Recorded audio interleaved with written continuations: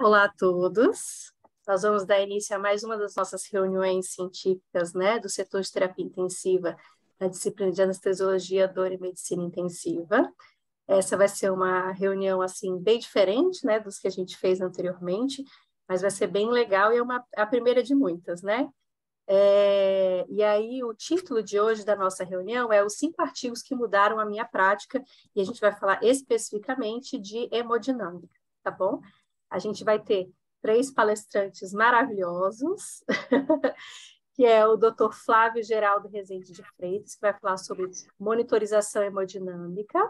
Ele é médico intensivista, ele tem doutorado em medicina translacional pela Unifesp, é coordenador do setor de terapia intensiva da disciplina de anestesiologia, dor e medicina intensiva pela Unifesp, tá bom? Depois a gente vai ter a Fernanda Atala, que vai falar sobre, a, sobre as drogas vasoativas. Ela também é médica intensivista, tem mestrado em tecnologia e atenção à saúde pela Unifesp, é coordenadora do setor de terapia intensiva da disciplina de anestesiologia, dor e medicina intensiva da Unifesp e também é membro do comitê diretivo do grupo Inova, Inova da MIB. E depois a gente vai ter a apresentação aí do Dr. Rafael Scottini, vai falar sobre SBO2 lactato. Ele é médico intensivista, coordenador do setor de terapia intensiva da disciplina de anestesiologia, dor e terapia intensiva da Unifesp, e também é, é membro aí do comitê diretivo do grupo Inova da MIP. Então, para a gente começar, a gente tem algumas regras, né? Só para todo mundo ficar ciente de que cada um deles vai falar cinco artigos e que eles têm um tempo limite de falar em 15 minutos. Então, é um desafio, né? Tá bom?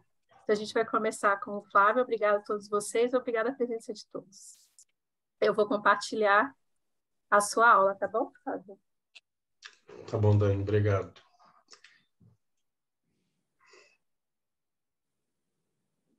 Ok. Peraí, então, inicial, todos estão, todos estão me ouvindo? Sim. Ok. Tani, obrigado pelo convite.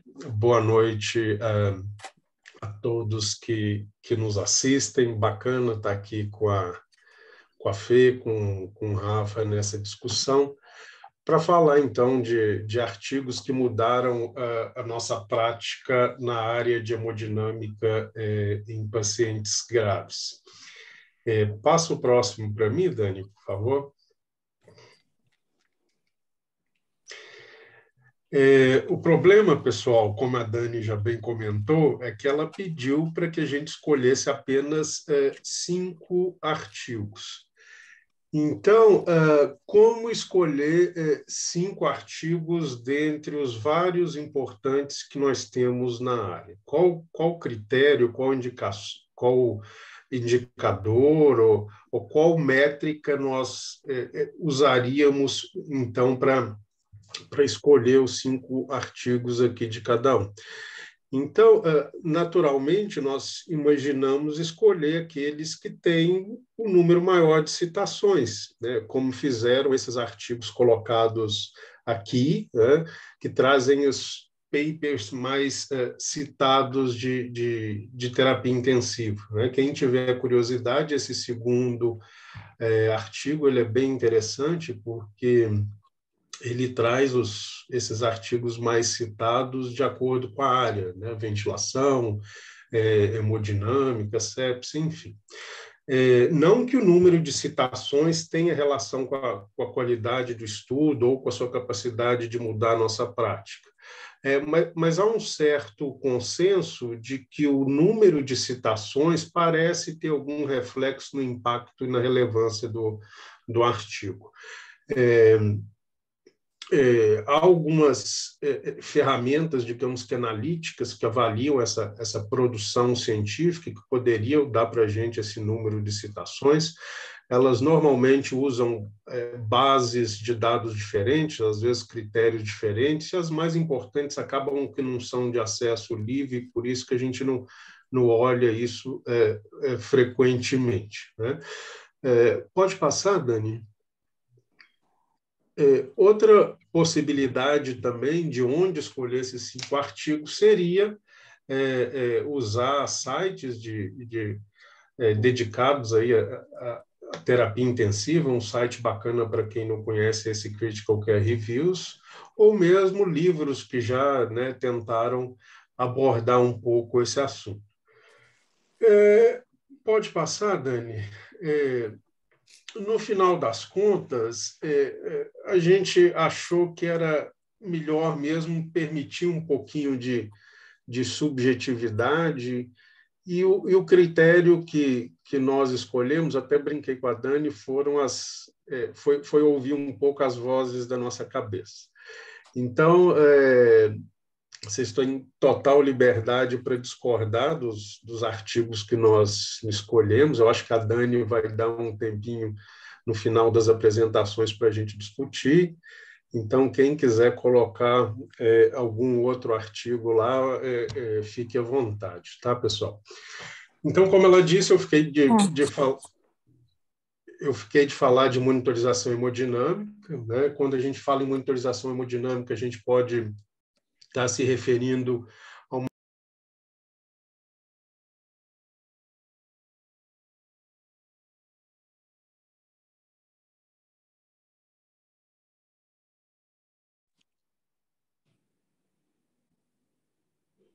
Estão me ouvindo?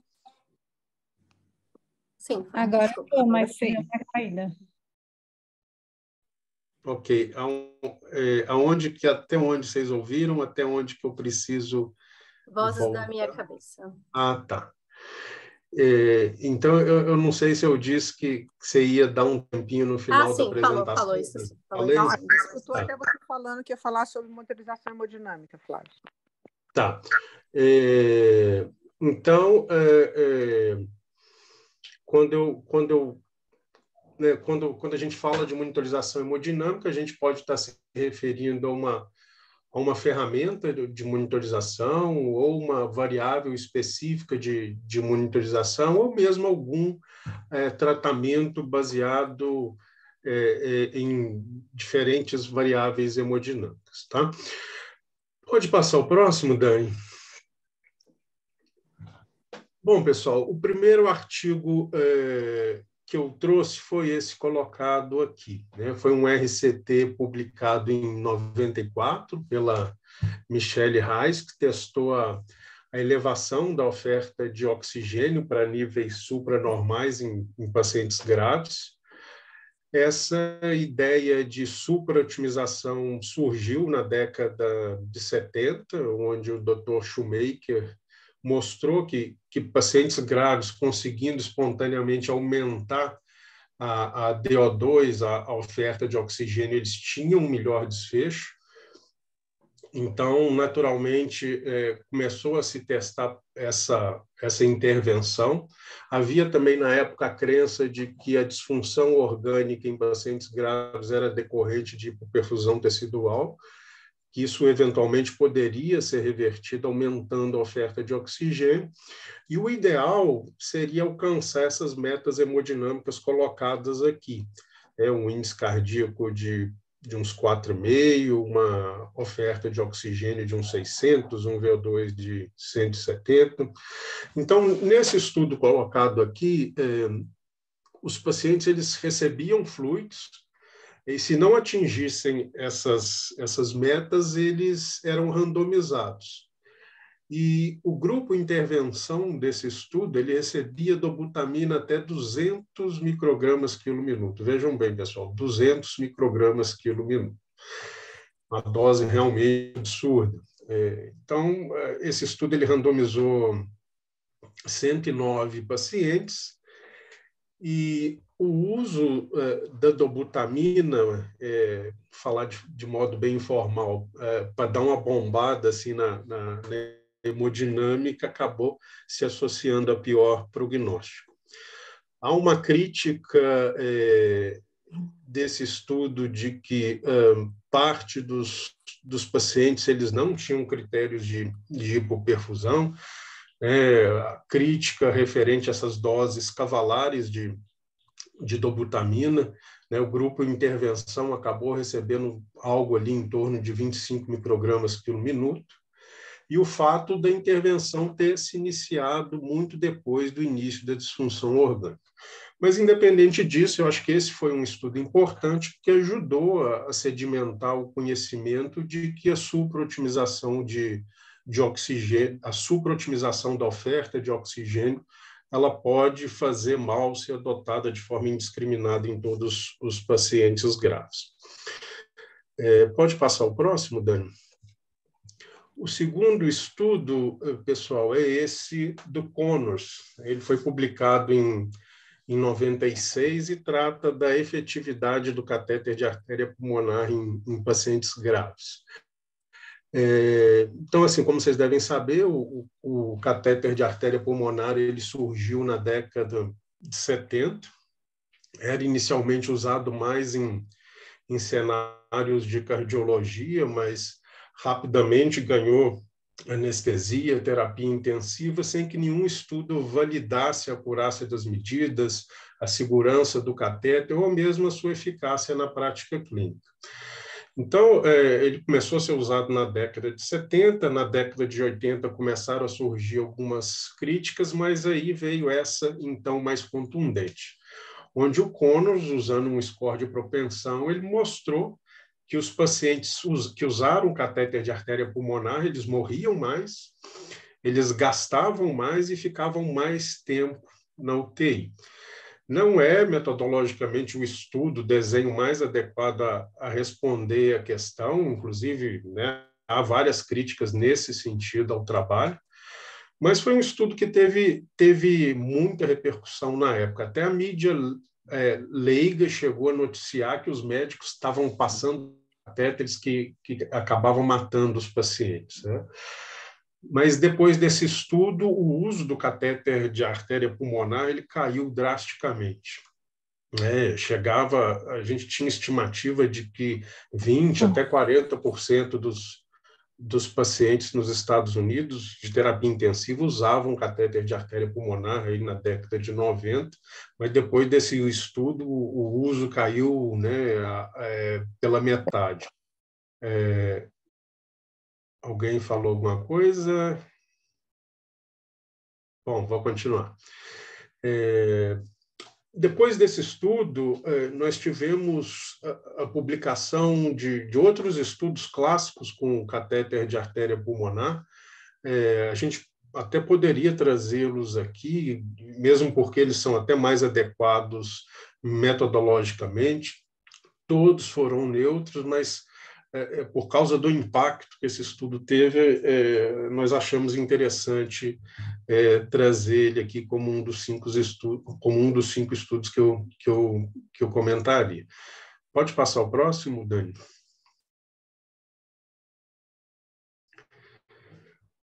Bom, o terceiro é esse estudo do Dr. Frederico Michá, do grupo do Dr. Tebu, que foi publicado em 2000, que é o estudo do delta-PP onde em 40 pacientes sépticos sob ventilação mecânica se mostrou que o delta-PP tinha uma grande acurácia para diferenciar respondedores de não respondedores à infusão de fluxos, muito diferente de variáveis estáticas, como a PVC e a pressão ocluída de, de artéria pulmonar.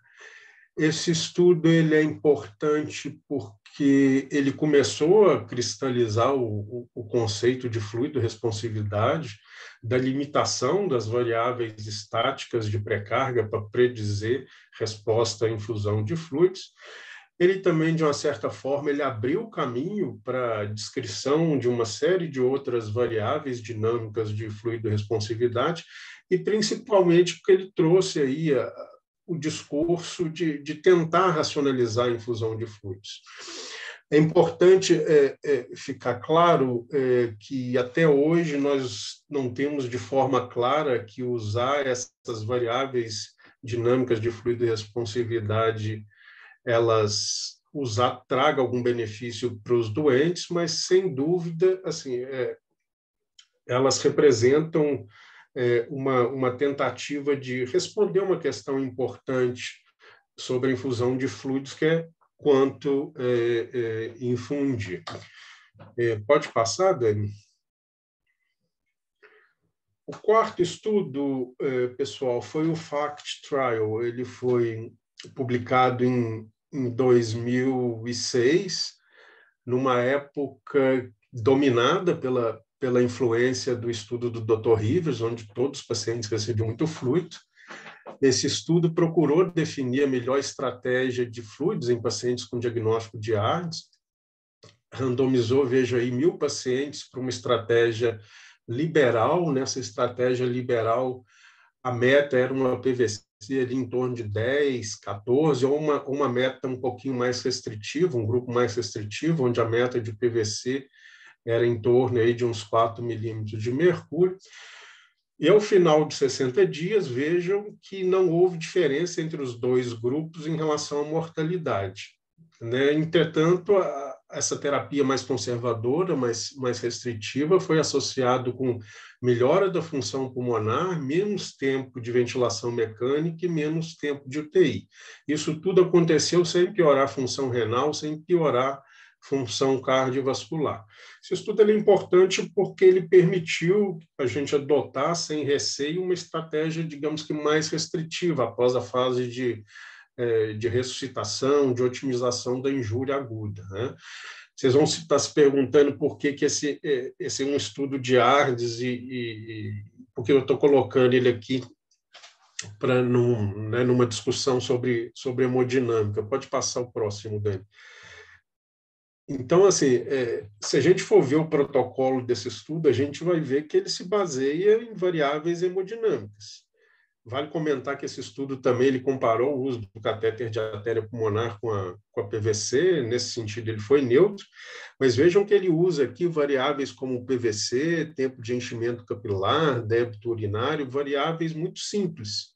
É, isso é, é interessante porque hoje nós estamos discutindo lá na UTI um desenho de um estudo para ter recitação com VEX, né, que é muito mais trabalhoso, né, que a gente tem que ficar olhando para Doppler de, de hepática, de porta, de renal, e esse estudo aqui ele é interessante porque a gente só olha é, para PVC, para perfusão periférica, para diurese, ele trouxe né, resultados muito interessantes que sem dúvida, é, moldaram um pouquinho a, a nossa prática. É, pode passar, Dani, que eu, eu, vou dar uma acelerada aqui, que eu acho que eu, eu já estou passando o meu tempo. E, eu, e, o último estudo que eu trouxe foi um estudo mais, mais recente, foi o, o, o 65 Trial, ele foi publicado em 2000, foi um, um RCT que procurar, procurou avaliar o efeito é, na mortalidade em 90 dias de uma estratégia para reduzir a exposição a vasopressor. Isso era feito por meio de uma hipotensão mais, digamos que, permissiva é, que a meta de pressão no grupo intervenção era ali em torno de 60 a 65 milímetros de mercúrio. Isso em pacientes com mais de 65 anos que recebiam vasopressor por choque distributivo.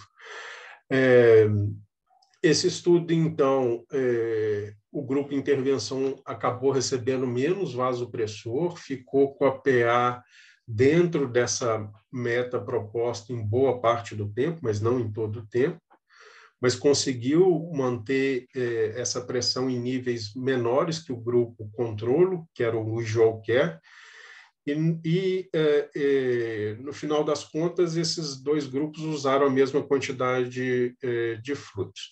Esse estudo ele, ele acabou sendo um, um estudo neutro, né? então não houve diferença em termos de, de mortalidade ao final de 90 dias, é interessante é, notar né, que essa estratégia de adotar um nível mais baixo de pressão não teve nenhuma repercussão em função respiratória, em função renal, até em função cognitiva. Né? E esse trabalho, né, ele até força um pouquinho, mostra uma análise ajustada, sugerindo que até pode-se ter um efeito marginal se a gente adotar essa estratégia é, digamos que de uma meta um pouco mais baixa de, de, de pressão arterial. Outra coisa que chama atenção nesse estudo foi a análise de subgrupo, é, onde a, a, hipotensão permissiva ela pareceu ser mais benéfica entre aqueles pacientes que tinham histórico de hipertensão crônica e naqueles pacientes com, com choque séptico. que era um pouquinho diferente do que a gente é, imaginava até então. Esse estudo ele é um, é um, estudo mais recente, mas sem dúvida acho que ele também não muda a prática, mas digamos que ele molda um pouquinho a nossa prática no sentido de mostrar que talvez seja seguro manter um nível de pressão ali em torno de 60 a 65 milímetros de mercúrio. Eu acho que é isso, Dani. Acho que eu passei um pouquinho do tempo, né? Desculpa aí, pessoal. Obrigada, Flávio.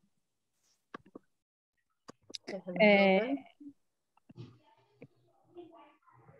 A gente vai fazer as três aulas seguidas, depois a gente abre para discussão, tudo bem? Bom. Quer compartilhar seus slides, Fê? Vou.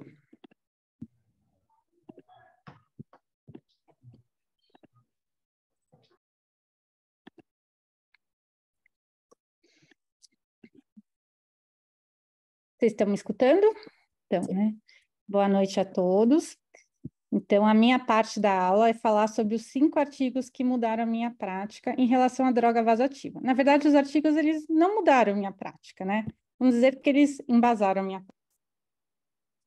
Então, o primeiro artigo que eu queria falar é a comparação de uso de dopamina com noradrenalina no paciente em choque. Esse foi um estudo muito legal, foi um estudo grande, multicêntrico, prospectivo, randomizado, e que o objetivo era avaliar se o uso da dopamina versus adrenalina, como primeiro escolha em pacientes em choque, alterava a mortalidade em 28 dias. Os critérios de inclusão eram basicamente pacientes acima de 18 anos que tinham necessidade de droga vasativa para o tratamento de algum choque. Choque foi um contexto, não era, era todos os tipos de choque. Então, o paciente tinha que ter hipotensão, é, refratária a volume e sinais de hipoperfusão com necessidade de droga vasoativa. É, foram randomizados é, 1.679 pacientes, em torno de 800 pacientes para cada grupo. E quando a gente foi avaliar o desfecho primário, que foi mortalidade em 28 dias, a mortalidade foi em torno de 50% em ambos os grupos, e sem significância estatística. Mas por que, que esse artigo ele chama atenção? Porque por conta dos eventos adversos. Então, o subgrupo de, o grupo de pacientes que recebeu dopamina teve o dobro de arritmias é, durante o tempo de infusão da droga do que o grupo que recebeu noradrenalina. E o grupo que recebeu noradrenalina teve um pouco mais de dias livres de vasopressor em 28 dias do que o grupo do butamina. E aí foi feita uma análise por subgrupo e foi visto que os pacientes em choque cardiogênico é, tiveram uma maior mortalidade em é, maior mortalidade com uso de dopamina em relação à noradrenalina. Então, por que, que esse estudo embasou a minha prática? Né? Primeiro, porque ele mostrou que o uso da dopamina está associado a um maior número de arritmias em relação à noradrenalina e aumenta a mortalidade no choque cardiogênico. E a partir desse estudo, na minha prática, eu evito usar o, a dopamina como droga vasativa inicial em qualquer tipo de choque. O segundo estudo que eu vou falar é a vasopressina versus noradrenalina nos pacientes em choque séptico. É o VASH, publicado em 2008 no New England. Também foi um estudo multicêntrico cujo objetivo foi comparar o uso adicional de vasopressina, quando eu falei adicional, em dose baixa, com o uso adicional de noradrenalina em pacientes em choque séptico já em uso de algum vasopressor. E o desfecho primário era mortalidade em 28 dias. Então, os critérios de inclusão eram pacientes acima de 16 anos que tinham choque séptico em uso de droga vasativa e poderia ser qualquer droga vasativa em que a dosagem era semelhante a 5 microgramas por minuto de nora nas últimas seis horas. O estudo foi um pouco menor do que o SOP2, que foi o primeiro que eu falei, englobou 800 pacientes, em torno de 380 em cada grupo. É, em relação à tabela 1, eu coloquei a tabela 1 porque o que chama atenção? É, ele foi publicado na mesma época, um pouquinho depois do SOP2. Então, assim, os pacientes usavam é, dopamina e outras drogas vasoativas para o tratamento de choque. A noradrenalina até então é, não se sabia se era a melhor droga, né? E aí, quando a gente foi ver, nos pacientes aqui em choque séptico, 58% estavam no momento da inclusão em uso de noradrenalina. E quanto à dose, foi em torno de mais ou menos 0,3 microgramas por quilo minuto. E o que chama atenção nesse estudo é que o tempo entre você identificar o, critério de inclusão no estudo e o início da infusão da droga foi muito prolongado no VASH, foi em torno de 12 horas. É, quando a gente avaliou o desfecho primário, mais uma vez, não teve diferença entre os grupos. Desfecho primário, lembra, foi a mortalidade em 28 dias. Mas é, o, os grupos foram estratificados em dois subgrupos: aqueles que tinham um choque séptico menos severo e os que tinham choque séptico mais severo. Que era menos severo?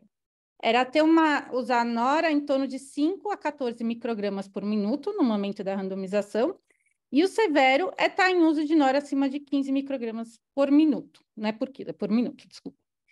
E aí, o que foi mostrado? Que nos pacientes que tiveram choque séptico menos severo, a mortalidade em 28 dias em 90 dias foi menor no grupo vasopressina em relação ao grupo noradrenalina. É, esse estudo foi feito com uso de vasopressina até 0,03 unidades por minuto, tá? Então, o que que, por que, que esse estudo embasou a minha prática? Porque ele mostrou que o uso adicional de vasopressina no choque séptico é seguro, é, não teve diferença em relação aos eventos adversos, em baixas doses, e parece ter benefícios em pacientes com menos droga vasoativa, sugerindo que talvez o seu uso deva ser mais precoce. E aí, na minha prática, eu utilizo a vasopressina como segunda droga em pacientes com choque séptico, em que o uso de noradrenalina está em torno de 0,3 microgramas por quilo minuto. O terceiro estudo, quando a gente fala de VASH, a gente não pode esquecer do VENISH. O VENISH foi um estudo que avaliou vasopressina versus noradrenalina em pacientes em choque séptico é, e que avaliou como desfecho primário disfunção renal. Então, também foi um estudo multicêntrico, prospectivo, controlado, randomizado, e o objetivo era ver se a vaso comparado com nora reduzia o risco de disfunção renal em pacientes com choque séptico. E ele tinha dois desfechos, né? O primeiro era avaliar a sobrevida em 28 dias dos pacientes que não desenvolveram disfunção renal. E o segundo era avaliar dias livres de disfunção renal nos pacientes que desenvolveram disfunção renal e nos pacientes que não sobreviveram. Os critérios de inclusão era idade acima de 16 anos e choque séptico em até 6 horas do início de droga vasoativa, tá? O estudo, ele tinha quatro grupos, tá? Ele também queria avaliar a associação de vasopressina com hidrocortisona, porque alguns estudos prévios demonstrou que essa associação, essa associação era benéfica para o paciente e diminuiu o risco de disfunção renal. É, então, um grupo era vasopressina mais hidrocortisona, o outro vasopressina com placebo, o outro é, nora mais hidro e o outro nora mais placebo. Eles, os pacientes só recebiam o placebo ou a hidrocortisona se eles não atingiam a média de, de pressão, que era em torno de 65, 70. Tá? Foi em torno de 100 pacientes para cada grupo.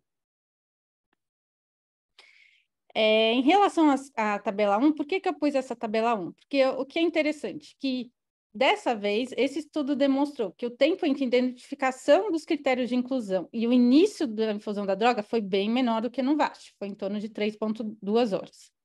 E os pacientes, na, no momento da inclusão, da randomização, também vinham em uso de noradrenalina, a maioria, por sinal, mas uma dose um pouquinho menor, 0,15 microgramas por quilo minuto até porque o objetivo desse estudo era avaliar a nora ou a vaso como primeira droga. Tá?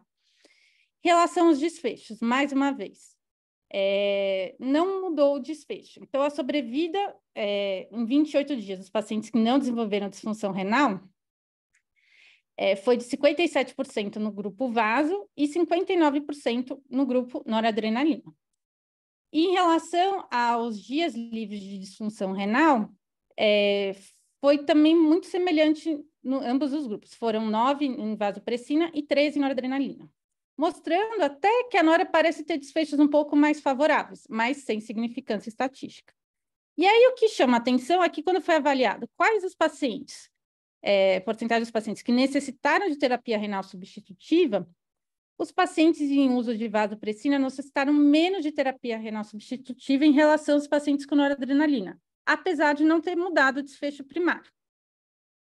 E em relação aos eventos, viu-se que os pacientes em uso de vasopressina, 11 pacientes versus 3 pacientes em uso de noradrenalina, tiveram isquemia digital.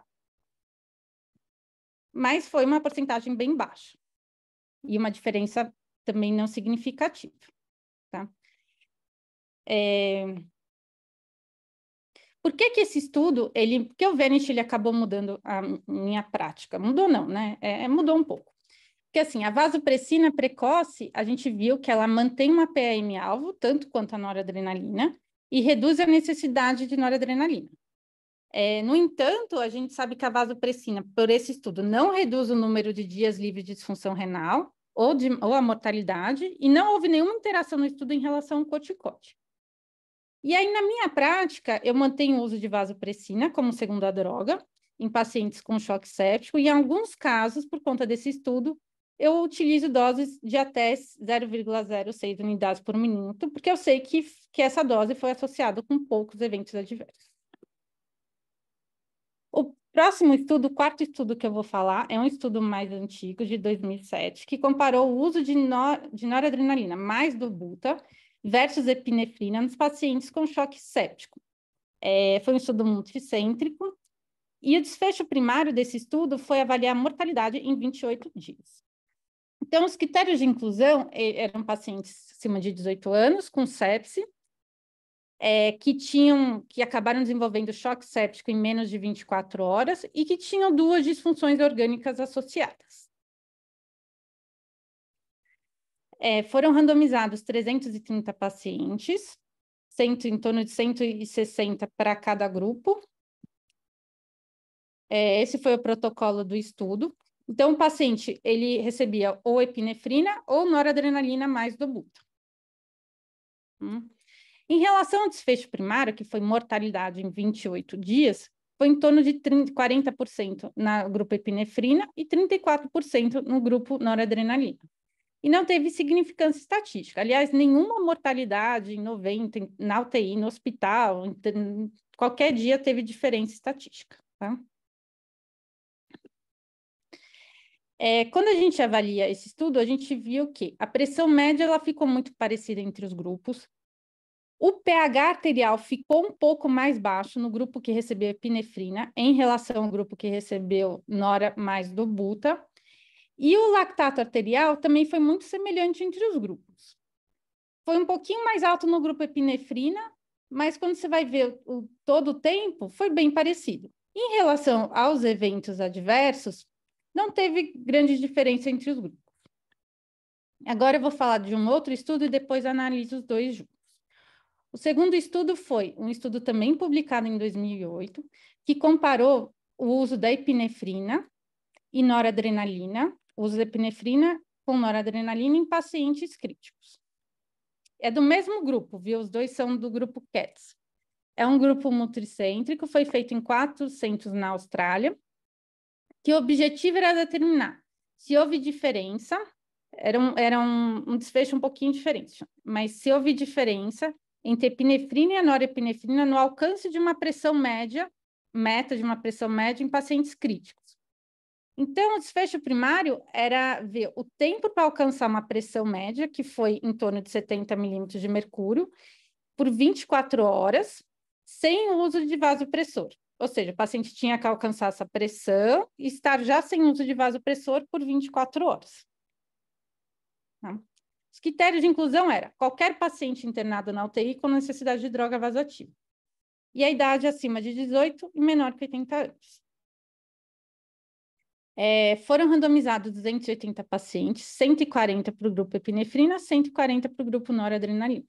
Dentre as causas de choque com necessidade de droga vasoativa, o choque séptico era mais prevalente, em torno de 54% em cada grupo. Tá?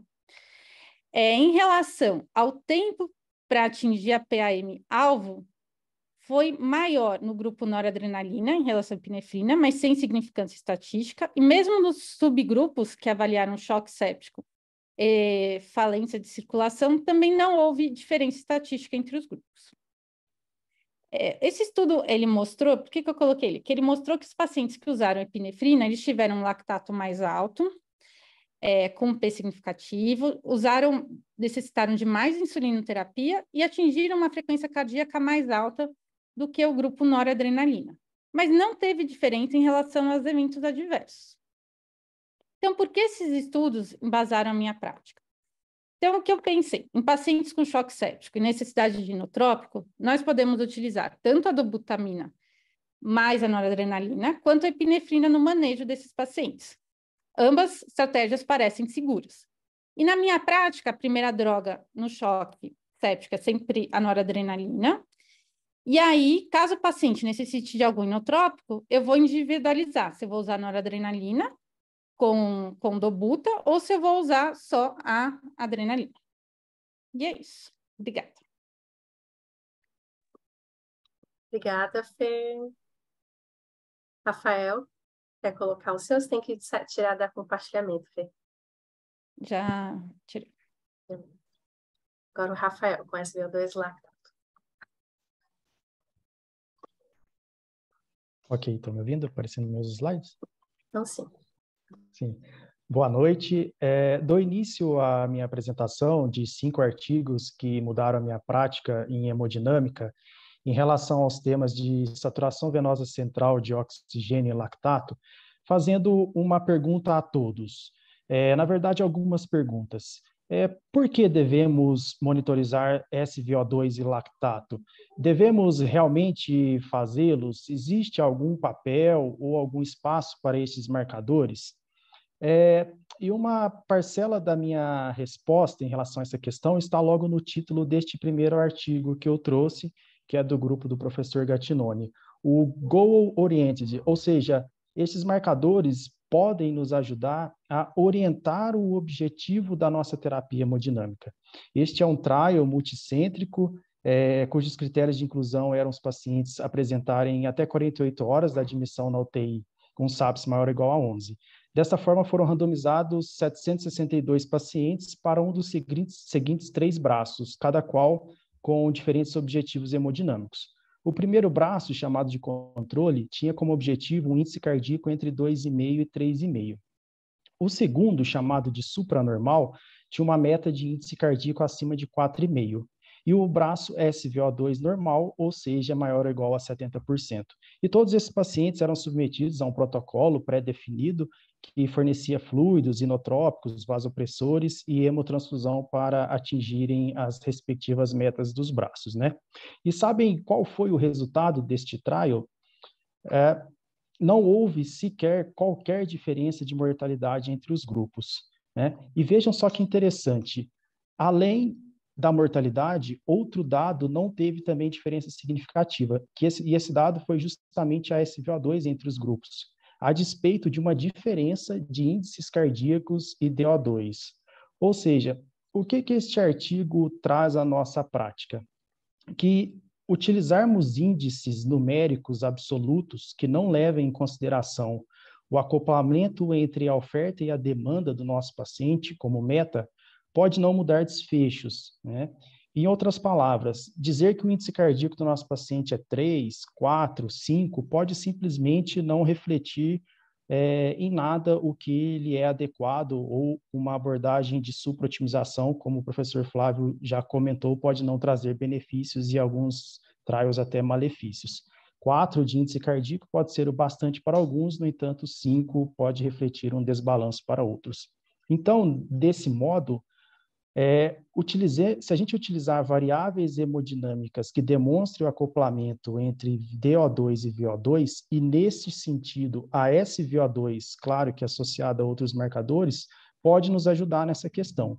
E, portanto, a gente deve sim é, ter algum espaço para SVO2, vejamos é, qual é. é. No entanto, a história da SVO2 foi repleta de altos e baixos na literatura, né? E o segundo artigo que eu trouxe, é, eu jamais poderia deixar de citá-lo, né? Aliás, é um dos trabalhos mais citados na literatura da terapia intensiva, o Early Goal Direct Therapy, o EGDT do Rivers, né? É, apesar das atuais duras críticas a ele, é, este artigo trouxe a importância da SVO2 aos olhos de todo mundo em 2001, quando ele foi publicado. Randomizando 263 pacientes no departamento de emergência de um, um centro único nos Estados Unidos, Rivers propôs uma comparação entre duas estratégias de terapia em pacientes com, na época, né, chamada ainda sepse grave e choque séptico. Um braço chamado de padrão, com alvos de PVC, PAM e débito urinário, conforme vistos aqui no slide, comparado com o braço EGDT, o qual era acrescido é, da meta a busca de uma saturação venosa central maior ou igual a 70%. Esses pacientes também recebiam um protocolo que buscava otimização de pré-carga, contratilidade, pós-carga e outros componentes do conteúdo arterial de oxigênio, é, por exemplo, como otimização da hemoglobina. E Rivers apresentou um resultado da importante redução absoluta de 16% de mortalidade hospitalar a favor do braço que contemplava SVO2. Ora, então, é, eu estou aqui querendo dizer que eu realizo o protocolo aos moldes do Rivers na minha prática atual? E a resposta é não. Hoje sabemos que temos, por exemplo, no item de otimização de pré-carga, outras ferramentas de avaliações dinâmicas de fluido responsividade, de, de superior capacidade preditiva, e, na verdade, o valor individual dos itens do pacote são questionáveis, né? Mas por que, que eu trouxe esse artigo? O que, que eu levo a minha prática do Rivers. A primeira palavra do artigo, o early, o precoce. Vejam que no grupo, eh, o grupo EGDT recebeu mais fluidos inotrópicos e transfusões nas primeiras seis horas, sendo que o inverso aconteceu nas horas subsequentes até a 72ª hora.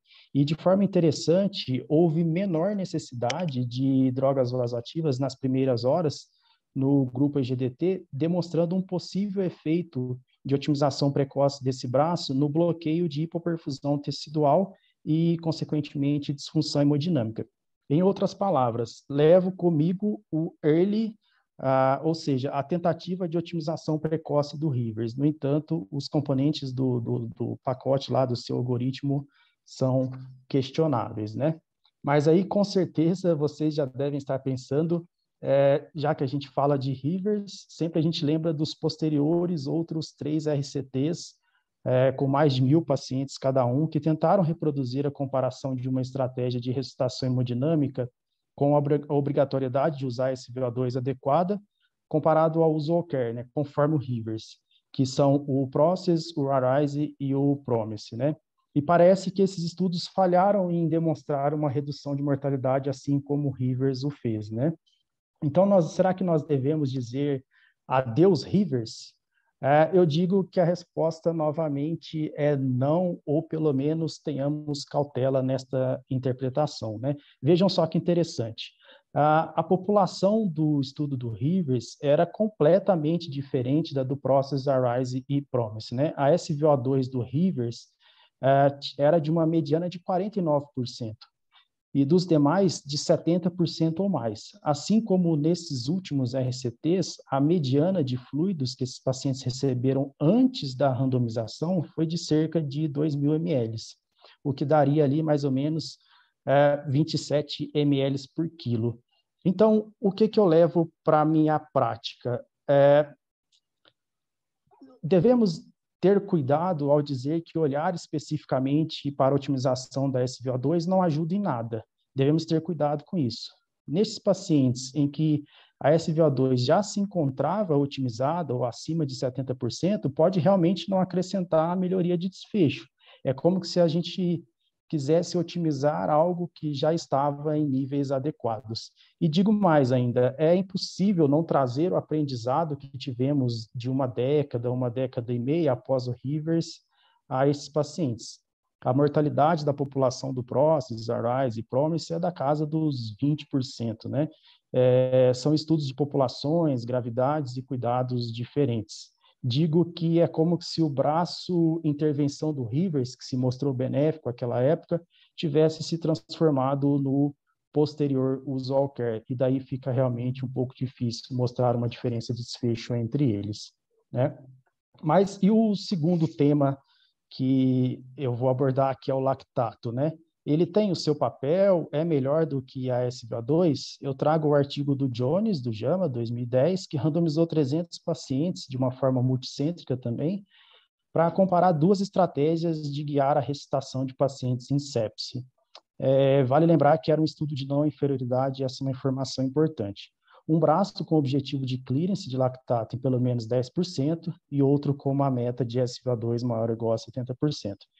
E também não houve diferença no tratamento recebido pelos pacientes entre os grupos e nem, nem o tratamento, nem a dose do tratamento que esses pacientes receberam, né? Então, um pouco diferença de mortalidade. Esse estudo também possui várias críticas, como o número de pacientes que tinham hiperlactatemia, que foi um pouco baixo, e também do outro braço, o grupo de pacientes, o, o nível da SVO2 dos pacientes na randomização. Mas qual a mensagem que eu quero deixar com este trial especificamente? Que o lactato e SVO2 possuem uma relação de não inferioridade, pelo menos nessa população que o Jones publicou, para guiar a nossa terapia hemodinâmica, e a gente pode sim acrescentar é, mais um marcador para nos ajudar na nossa prática de, de otimização da terapia do nosso paciente. E por fim, Uh, preciso, não posso deixar de dizer de todas as críticas que o lactato tanto recebe, né? Por exemplo, hiperlactatemia, de outras etiologias que não a hipóxia tecidual, outras influências no seu clearance e até a morosidade da sua dinâmica, né? Nesse sentido, o último artigo que eu trago, o quinto, para concluir, é o Andrômeda, que é mais recente, de 2019, que também é multicêntrico, randomizado, de 424 pacientes em choque séptico, bem na fase precoce, ou seja, eles tinham que ter até quatro horas de preenchimento desses critérios de, de choque séptico, e também foi randomizados, foram randomizados dois braços, né? Os quais compararam uma estratégia de ressuscitação com o alvo de monitorização de tempo de enchimento capilar, com uma periodicidade de, cada, de a cada 30 minutos, objetivando a sua normalização, versus o lactato sendo realizado a cada duas horas, com uma meta de clearance de pelo menos 20% ou até a sua normalização. E os pacientes também passavam por um protocolo pré-definido para é, que, que, durava oito horas de otimização hemodinâmica. Né? E como resultado, é, nós vemos aqui o desfecho primário, que era uma mortalidade de 28 dias. Houve uma tendência ao benefício do grupo TEC, 34% aí versus 43% de mortalidade em relação ao lactato, no entanto, um P, se a gente olhar aí a, a, a estatística é, frequentista, vamos dizer assim, não, não houve é, significância estatística. Né? No entanto, tem alguns outros trabalhos na literatura que fizeram uma, uma análise bayesiana que mostra, assim, essa tendência de benefício do grupo lactato. Um desfecho secundário foi a disfunção orgânica mensurada pelo SOFA a 72 horas, e aí sim o grupo TEC teve um pouquinho menos de disfunção orgânica, né? Um ponto a menos de SOFA. Outro desfecho exploratório, apenas exploratório, foi que o grupo TEC também recebeu uma quantidade menor de fluidos, né? O que pode ser explicada, de certa forma, pela maior dinâmica do TEC, que foi realizada a cada 30 minutos, em detrimento do lactato, que era realizado a cada duas horas, e isso pode ter, de certa forma, é, atrasado um pouco até o, o, o, parar da terapia, né? Que é outro ponto também importante. Então, para resumir meus últimos dois slides, o que que esses artigos mudaram na minha prática, né? Devemos sempre tentar buscar marcadores que nos deem dados a respeito do acoplamento entre a DO2 e a VO2 do nosso paciente, a demanda e, e, a oferta e a demanda do nosso paciente, para que a gente consiga ofertar a dose que o nosso paciente precisa da, da nossa otimização, né? nem ofertar menos, nem fazer over intervenções.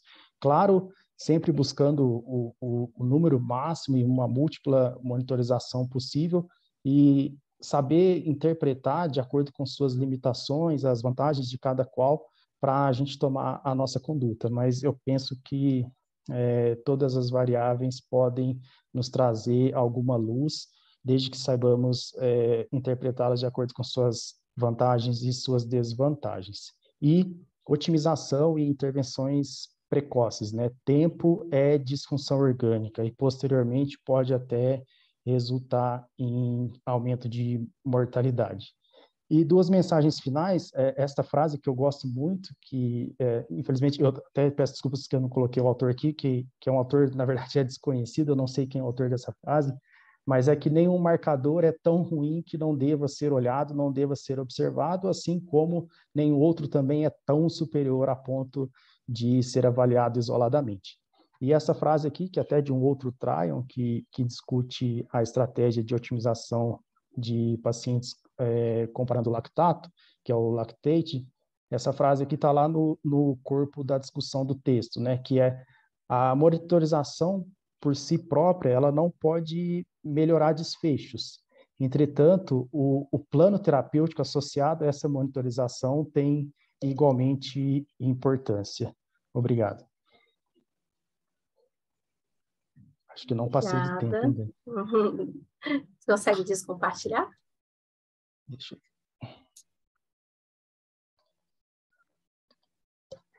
Então, ótimo. Flávio, você está aí?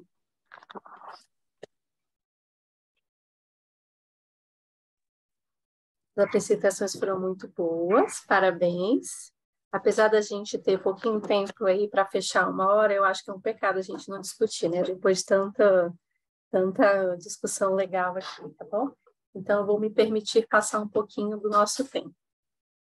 É, a gente tem aqui algumas perguntas, se alguém tiver alguma pergunta pode enviar, tá? Mas antes de eu falar essas perguntas, eu só queria perguntar para vocês, e é para vocês três, né? Se vocês tinham algum outro artigo que vocês achavam que era interessante ser colocado ou ser citado, só para a gente saber mesmo, e não foi pelo tempo, ou se vocês acham que, que talvez algum, algum outro deveria ter sido representado. Quer começar, Flávio? Depois a gente vai pela ordem. Oi, Oi, Dani, peraí que cortou um pouquinho. Você, você me chamou para comentar primeiro, isso? Isso, pode ser, mas qualquer um de vocês pode comentar primeiro. Não, eu, eu, acho que assim, quando a gente fala de hemodinâmica, a gente tem que pensar também em fluido, mas eu acho que propositalmente, por questão de tempo, você deixou o tema de fora. Né? Então, nós temos vários estudos né, na área de fluidos que seriam importantes, porque também, de uma certa forma, estão é, dentro dessa área de hemodinâmica. Acho que assim, tem muitos estudos, por exemplo, de otimização perioperatória, teve outros estudos com catéter de artéria pulmonar que a gente poderia ter abordado, mas eu acho que a escolha é, é, nossa aí foi, foi razoável. Você quer falar depois, Rafael? É, nossas escolhas vozes da nossa cabeça, né? Uhum. Mas Queira ou não, acho que a maioria dos nossos artigos são os mais citados né, na literatura. Pelo menos foi essa a condição aí para eu escolher os meus artigos. É, eu queria ter colocado mais dois artigos em choque cardiogênico, né? Um até recente, comparando a dobuta com o milrinone, é, e outro com a nora, nora e epinefrina no choque cardiogênico, mas aí eu teria que tirar algum desses, e, eu acho, e ao meu ver, esses artigos são os que mais embasaram assim, droga vasativa no choque. Eu acabei deixando para trás. Hum. E você, Rafa? É, primeiro, queria dizer que eu acabei usando uma artimanha ali, né? Porque era impossível falar do River sem falar dos outros três, Process, Arise e Promise, né? E aí, se eu, se eu, fosse falar de todos separadamente, eu iria usar quatro dos meus cinco. Então, eu acabei pegando aquela meta-análise do New England para falar dos três ali juntos e, e, e, e, não, vamos dizer assim, entre aspas, gastar o, os outras oportunidades. Mas há sim outros, Dani, há sim, e especificamente teve um que eu fiquei bastante na dúvida, que foi o, exatamente esse que eu citei no final agora da frase, que é o Lactate, que, que é um trial de 2010 também, lá do grupo do Ian Baker, está publicado no Blue Journal, que comparou em pacientes que chegavam ao UTI com hiperlactatemia, de uma forma geral, eram era pacientes hiperlactatêmicos, eram randomizados para duas estratégias, era quase 350 pacientes, um braço não olhava lactato, outro braço olhava assim, com a mesma dinâmica ali do Andrômeda, de 20% a cada duas horas, e quando você olha a, a análise primária crua assim do estudo, não deu diferença, mas depois ajustada para algumas alguns fatores de riscos, houve uma redução de mortalidade e também outros desfechos secundários, né? O que ele muda na minha prática, é, acho que é, eu o lactato ele, ele, recebe tantas críticas, né? Mas eu acho que, que, que eu não, não deixaria tanto de lado. Vamos assim, falar claro, que a gente chama lactato. Pronto, falei. Interpretando com todas as limitações aí, claro, sempre, mas é algo que ajuda mais, sem dúvida. Pronto, eu falei, só digo verdades. o, o, Flávio tem uma pergunta para você, o doutor Fernando Ramos. É. Ele está perguntando se depois do estudo 65 você acha que a gente deveria mudar a nossa prática para idoso e ter uma meta mais próxima de 60 ou não. Olha, Dani, mudar para idoso é, é... Bom, é, é, é, uma boa pergunta, uma boa pergunta. É, pouco antes, pouco antes não, né? Esse estudo que eu apresentei, o 65, ele foi publicado é, em 2020, acho que uns cinco anos antes a gente teve a publicação do Sepsis Pan, que foi um estudo que também é, teve por objetivo testar diferentes metas de pressão é, em pacientes graves em geral. É, diferente do achado do 65S, o CEPSPAN sugeriu que naqueles é, indivíduos previamente hipertensos, uma meta um pouquinho mais alta poderia ser melhor. É, a razão para esses resultados divergentes, assim, eu nunca vi nenhum comentário, algo que trouxesse é, uma explicação definitiva para isso, né? algo que não fosse meramente especulativo. Né? É, eu acho que para responder essa questão de qual é, o melhor nível de pressão para pacientes idosos, a gente teria que fazer um estudo com pacientes idosos, né? é, é escolhendo ali, randomizando para duas metas diferentes de pressão. E aí, é, acho que um comentário é, nesse sentido, é, porque olhando a discussão do 65S, ele diz lá que alguns indivíduos tinham história de hipertensão, mas é, essa história às vezes não era tão claro o tempo e tal.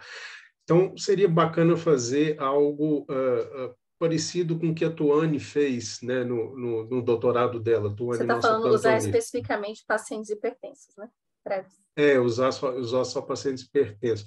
Porque a Tuane, ela definiu como paciente hipertenso aquele paciente que tinha é, lesão de órgão-alvo documentada, sabe? Então, esse realmente é o paciente hipertenso que eventualmente poderia se beneficiar de um nível mais alto de pressão. Mas, assim, é, é na prática, na prática mesmo, é, eu, eu, eu, vou ficar um pouquinho em cima do muro, né? Eu vou, eu vou, eu vou seguir a, a, a, recomendação, por exemplo, da, da diretriz da campanha Sobrevivendo a Sepsis. Fica ali em torno de 65, que está bom. E só, só que a gente está discutindo sobre isso, você acha que o fato de que a hipotensão permissiva no 65, que deveria ser de 60 a 65, versus o, o Joker e o Standard Care, que não tinha bem o valor de pressão, e os pacientes terem ficado aí nesse grupo de proteção permissiva com uma, uma PM aí média de 66,7 versus 72,6 do outro grupo, que é o tipo um 5 de diferença, pode ter impactado nisso? Tipo, pode levar alguma invalidação dos Entendi. resultados?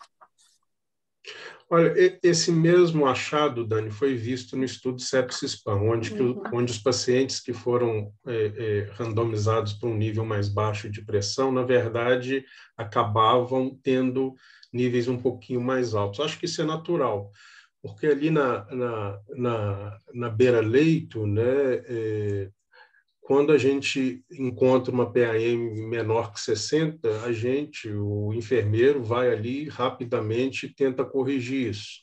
O contrário não acontece quando a gente está lá diante de uma PAM de 75, 80, a gente não tem aquela mesma pressa de ir lá baixar o vasopressor. Eu acho que os achados desse estudo refletem um pouquinho essa prática mas eu imagino que isso não invalida os resultados, sabe? Uhum. Porque nesse estudo mesmo, é, apesar de, dos indivíduos terem ficado é, com, do grupo intervenção com nível de pressão um pouquinho mais alto do que aquela é, que era tido como meta, em boa parte do tempo, eu não me lembro exatamente, aí uns 50% do tempo, eles ainda assim ficavam com a pressão naquela meta. Então, eu acho que os resultados ainda são, são válidos por causa né, desses, desses aspectos. Vocês concordam, meninas? Tem alguma coisa diferente? Vocês mudariam eu, a sua prática? Eu levantei a mão porque eu queria fazer um ah, comentário rápido. Hum. Pode fazer, chefe. Eu não, não, tinha visto. É muito rápido, porque eu acho que a gente já está muito adiantado, né? Uhum. Eu acho que o Flávio tem razão quando ele diz que... Eu, primeiro, eu acho que a maior parte do tempo, nos dois primeiros dias, os pacientes ficaram com a pressão que a gente está acostumado, 65, uhum. 70. Mas o que importa no que o, o Flávio falou é que a intenção foi manter em 60, 65. Então, Talvez para ficar no alvo 65, 70, a gente tenha que ter intenção de deixar mais baixo. Isso eu acho que é um ponto que o Flávio tem uma certa razão. Nós não temos essa atenção, né? Mas eu teria muito receio de deixar qualquer paciente com alvo de 60. Por quê? Porque o estudo não, não fez isso na prática. Né? Na prática, eles não ficaram com alvo de 60. E segundo, a avaliação de desfecho a longo prazo, porque qual que é o grande problema de você deixar um, um todos os doentes eram idosos, né, Flávio? Nós seremos idosos em breve, né? Todos tinham mais de 65 anos. A definição de idoso, a gente precisa reajustar o cérebro. É, é, eu tenho muita preocupação com déficit cognitivo, né? O que, que vai acontecer com você manter um certo grau de hipoperfusão cerebral em pacientes desta idade? E a avaliação que a gente tem nesse estudo, ela é, hum, no mínimo, esquisita porque um ano depois os pacientes do grupo intervenção efetivamente tinham um, o, o, o, o, score que eles usaram, que era o IQ Code, maior do que o grupo controle com P de 0,05. Então, eu ficaria muito, muito estressada de manter pacientes idosos com APM de 60, enquanto um outro estudo não for a fundo no déficit cognitivo a longo prazo. Fernando, Só queria falar? Um negócio, Dani. Pode Não, é, mas, chefe, se pega a meta-análise e vai, como do grupo do Lamontan tem outras meta-análises, mostrando que difícil, quando você traça essa meta de 60, fica um pouco maior. E que, mesmo incluindo até o, o grupo do CEPSPAN, que mostra que tem benefício, tá bom, vamos fazer. E, e, e lembrando que agora tem isso com os estudos anteriores, Lamontan, sem colocar o 65 e, e com melhor em outros tipos de desfecho, eu, eu acho que é, vai, vai mudar muito daqui a pouco, doutora Flávia. Eu, eu, eu acho que continuo tem... discordando, né? O que a gente tem é ausência de malefício e não benefício. Então, mas momento. aí você tira a droga vasoativa mais rápido você tira a droga vasoativa mais tem, diminui de repente o tempo de internação de UTI, que a gente não tem Desde que a PAM fique aonde a PAM ficou, Fernando. T todo ponto é esse. Eu acho que a gente está se alongando demais, pessoal. Tá bom. Mas eu acho que não, tem, não, não temos tempo para entrar a fundo nessa questão. Acho que todo mundo aqui tem que saber onde está a controvérsia. Mas nós não chegaremos numa definição, Fernando. Nem se a gente discutir mais 45 minutos, na verdade. Talvez individualizar, continu... né? Parabéns Alguns aí aos pacientes. três palestrantes. Podia ficar a é. tarde inteira discutindo aí o Rivo e do Rafael, ou a Nora contra a, do, contra a Dobuta da Fernanda, a vasopressina da Fernanda. É verdade. Tem uma outra pergunta aqui, que é, quer dizer que associar variáveis é, microhemodinâmicas deu mais resultado que considerar só de macrohemodinâmica? Talvez para o Rafael Flávio. É, Hortência, né? É, essa pergunta é muito interessante, porque assim, é, o nosso objetivo final, vamos dizer assim, é garantir ou otimizar o fluxo, a perfusão tecidual lá na, na microcirculação, lá na célula, né? lá na perfusão tecidual.